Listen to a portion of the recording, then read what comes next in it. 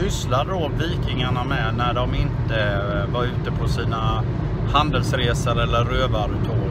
Ja, de allra flesta försörjde sig som bönder eh, och man odlade sin jord.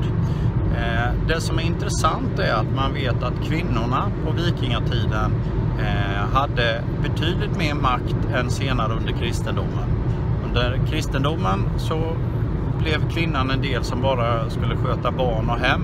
Medan under vikingatiden så hade man viktiga sysslor. Då männen var borta fick man ta ansvar för alltihopa. Så att eh, när vi, kristendomen kom till Sverige så blev det alltså en viss tillbakagång. Eh, spännande. Bokstaven härifrån är ett I.